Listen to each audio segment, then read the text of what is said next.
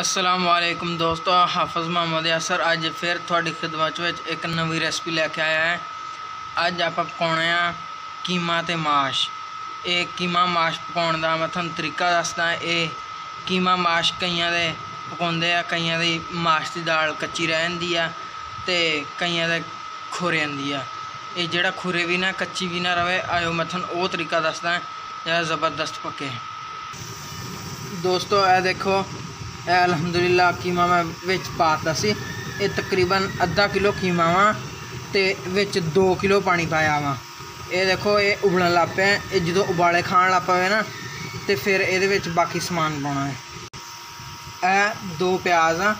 ਇਹਦੇ ਵਿੱਚ ਜ਼ਿਆਦਾ ਪਿਆਜ਼ ਤਾਂ ਨਹੀਂ ਪਾਈਦੇ ਕਿ ਇਹ ਨਹੀਂ ਤਾਂ ਦਾਲ ਮਿੱਠੀ ਜੀ ਹੋ ਜਾਂਦੀ ਆ।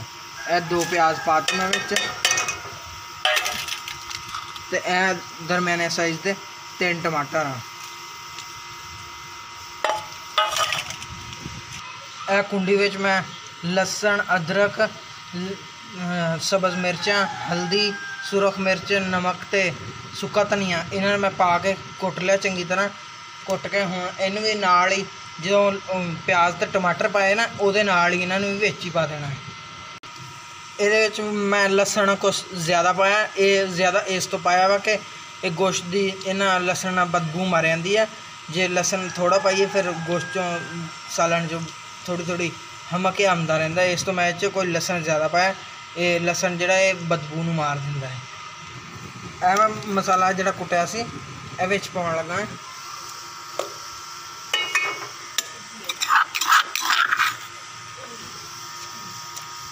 ਇਹਨੂੰ ਹੁਣ ਮੈਂ ਇਹ ਸਾਰਾ ਮਸਾਲੇ ਮਸੂਲੇ ਪਾ ਕੇ ਤੇ ਇਹਨੂੰ ਹੁਣ ਮੈਂ 1 ਘੰਟੇ ਲਈ ਤਕਰੀਬਨ ਢੱਕ ਦੇਣਾ। 1 ਘੰਟੇ ਦੇ ਵਿੱਚ ਵਿੱਚ ਜਿਹੜਾ ਗਲ ਜਾਵੇ ਸਵਾਰ ਕੇ। ਇਹ ਦੇਖੋ, ਇਹ ਦਾਲ ਮਾਸ਼ ਆ। ਇਹ ਤਕਰੀਬਨ ਡੇਢ ਪਾਓ ਆ।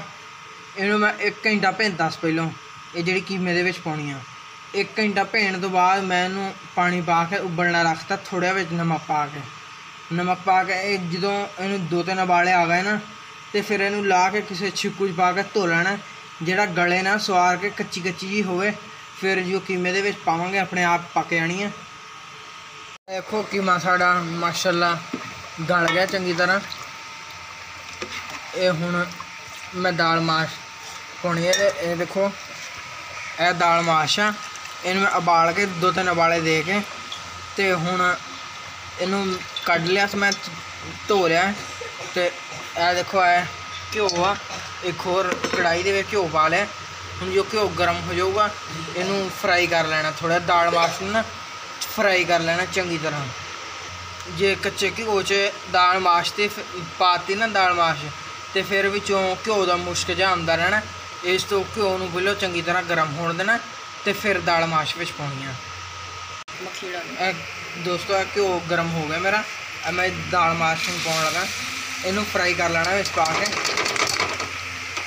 ਇਹਨੂੰ ਫਰਾਈ ਕਰ ਲੈਣਾ ਚੰਗੀ ਤਰ੍ਹਾਂ ਤੇ ਇਹ ਕੀਮਾ ਇਹ ਇਹ ਕੀਮਾ ਇਹਦੇ ਵਿੱਚ ਇੰਨਾ ਪਾਣੀ ਇਹ ਮੈਂ ਤਾਂ ਛੱਡਿਆ। ਜਿਹੜਾ ਦਾਲ ਮਾਸ਼ ਇਸੇ ਪਾਣੀ ਦੇ ਵਿੱਚ ਗਲਣੀ ਆ। ਦਾਲ ਮਾਸ਼ ਫਰਾਈ ਕਰਕੇ ਤੇ ਇਹਨੂੰ ਦਾਲ ਮਾਸ਼ ਦੇ ਵਿੱਚ ਪਾ ਦੇਣਾ। ਇਹ ਪਾਣੀ ਇਸ ਤੋਂ ਮੈਂ ਛੱਡਿਆ। ਇਸੇ ਪਾਣੀ ਦੇ ਵਿੱਚ ਗਲਣੀ ਹੈ ਦਾਲ ਮਾਸ਼। ਤੋਂ ਦਾਲ ਮਾਸ਼ ਸਾਡੀ ਫਰਾਈ ਹੋ ਗਈ ਹੈ ਇਹ ਫਰਾਈ ਹੋਣ ਦਾ ਪਤਾ ਇਦਾਂ ਲੱਗਦਾ ਵਾ ਜਦੋਂ ਦਾਲ ਘਿਓ ਛੱਡ ਜਾਵੇ ਨਾ, ਇਹ ਦੇਖੋ, ਇਹਨੇ ਦਾਲ ਮਾਸ਼ ਨੇ ਘਿਓ ਬਿਲਕੁਲ ਛੱਡਦਾ ਇਹ ਹੁਣ ਫਰਾਈ ਹੋ ਗਈ ਹੈ ਹੁਣ ਅਸੀਂ ਇਹਦੇ ਵਿੱਚ ਕੀਮਾ ਇਹਦੇ ਵਿੱਚ ਪਾਉਣਾ ਹੈ। ਇਹ ਫਰਾਈ ਜੇ ਉਦਾਂ ਵੀ ਉਬਾਲ ਕੇ ਪਾ ਦੇਵੇ, ਉਹਦੇ ਵਿੱਚ ਲੇਕਿਨ ਫਿਰ ਟੇਸਟ ਜਿੱਦਾਂ ਦਾ ਅਸਲ ਹੁੰਦਾ ਉਦਾਂ ਦਾ ਟੇਸਟ ਨਹੀਂ ਆਉਂਦਾ ਇਹਦਾ। ਇਸ ਤੋਂ ਇਹ ਫਰਾਈ ਕਰਕੇ ਪਾਵੇ, ਫਿਰ ਜ਼ਿਆਦਾ ਮਜ਼ੇਦਾਰ ਟੇਸਟ ਆਉਂਦਾ ਤੇ ਖੁਰਦੀ ਵੀ ਨਹੀਂ ਫਿਰ।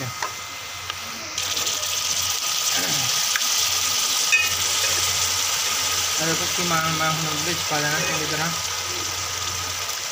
ਇਹਦੇ ਵਿੱਚ ਘਿਓ ਤਕਰੀਬਨ ਕੁਕਿੰਗ ਆਇਲ ਅੱਧਾ ਕਿਲੋ ਕੁਕਿੰਗ ਆਇਲ ਪਾਇਆ ਇਹਦੇ ਵਿੱਚ।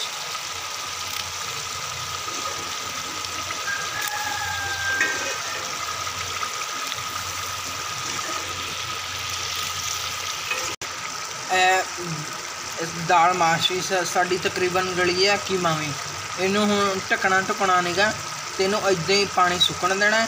ਜੋ ਪਾਣੀ ਸੁੱਕ ਗਿਆ ਤੇ ਫਿਰ ਇਹਨੂੰ ਚੰਗੀ ਤਰ੍ਹਾਂ ਭੁੰਨ ਲੈਣਾ। ਹੈ। ਅਲਹਮਦੁਲਿਲਾ, ਇਹ ਦੇਖੋ, ਪਾਣੀ ਸਾਡਾ ਕੀਮੇ ਦਾ ਸੁੱਕ ਗਿਆ ਵਾ। ਤੇ ਹੁਣ ਮੈਂ ਇਹਨੂੰ ਭੁੰਨਣਾ ਹੈ। ਉਨੀ ਦੇਰ ਤੱਕ ਭੁੰਨਣਾ ਹੈ, ਜਦੋਂ ਤੱਕ ਇਹ ਇਹ ਜਿਹੜਾ ਘਿਓ ਆ, ਇਹ ਨਜ਼ਰ ਨਾ ਆਉਣ ਲੱਗ ਪਵੇ। ਉਹਨਾਂ ਚਿਰ ਇਹਨੂੰ ਭੁੰਨਣਾ ਹੈ।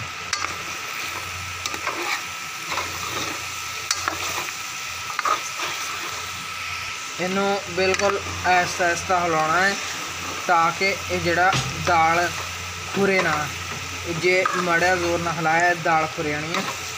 ਇਸ ਤੋਂ ਇਹਨੂੰ ਬਿਲਕੁਲ ਐਸਾ ਐਸਾ ਹਿਲਾਉਣਾ ਹੈ। ਅਲਹਮਦੁਲਿਲਾ, ਇਹ ਸਾਡਾ ਮਾਸ਼ ਕੀਮਾ ਤਿਆਰ ਹੋ ਗਿਆ? ਦੇਖੋ, ਘਿਓ ਵੀ ਛੱਡਤਾ ਦਾਲ ਨੇ। ਇਹ ਤਿਆਰ ਹੋ ਗਿਆ। ਹੁਣ ਇਹਦੇ ਵਿੱਚ ਗਰਮ ਮਸਾਲੇ ਦੀ ਇੱਕ ਚਮਚੀ ਪਾਉਣੀ ਆ। ਇਹ ਬਹੁਤ ਮਜ਼ੇਦਾਰ ਲੱਗਦਾ ਹੁੰਦਾ ਵਿੱਚ ਪਾਇਆ। ਇੱਕ ਚਮਚ ਜ਼ੀਰੇ ਦਾ ਹੈ ਤੇ ਅੱਧਾ ਚਮਚ ਕਾਲੀਆਂ ਮਿਰਚਾਂ ਪਾਉਣਾ ਵਿੱਚ। ਬਹੁਤ ਜ਼ਬਰਦਸਤ ਲੱਗਦਾ ਹੈ ਤਿੰਨੇ ਮਸਾਲੇ ਪਾ ਦੇਣੇ ਆ ਤੇ ਇਹ ਵਿੱਚ ਹੁਣ ਅਦਰਕ, ਹਰੀ ਮਿਰਚ ਬਰੀਕ ਕੱਟੀ ਹੋਈ ਤੇ ਧਨੀਆ ਇਹ ਉੱਤੇ ਭੁੱਕ ਦੇਣਾ ਇਹ ਬਹੁਤ ਜ਼ਬਰਦਸਤ ਵਿੱਚ ਪਾਣਾ ਲੱਗਦਾ ਹੈ। ਦੋਸਤੋ ਇਦਾਂ ਦੀਆਂ ਚੰਗੀਆਂ ਚੰਗੀਆਂ ਰੈਸਪੀਆਂ ਦੇਖਣ ਲਈ ਦਿਹਾਤ ਦੇ ਬਾਰੇ ਦੇਸੀ ਰੈਸਪੀਆਂ ਦੇਖਣ ਲਈ ਮੇਰੇ ਦਿਹਾਤੀ ਜ਼ਿੰਦਗੀ ਚੈਨਲ ਨੂੰ ਸਬਸਕ੍ਰਾਈਬ ਕਰ ਲਓ ਤੇ ਨਾਲ ਬੈਲ ਆਈਕਨ ਨੂੰ ਪ੍ਰੈਸ ਕਰ ਦਿਓ ਤਾਂ ਕਿ ਆਉਣ ਵਾਲੀ ਅਪਡੇਟ ਤੁਹਾਨੂੰ ਮਿਲ ਜਾਵੇ। ਸ਼ੁਕਰੀਆ।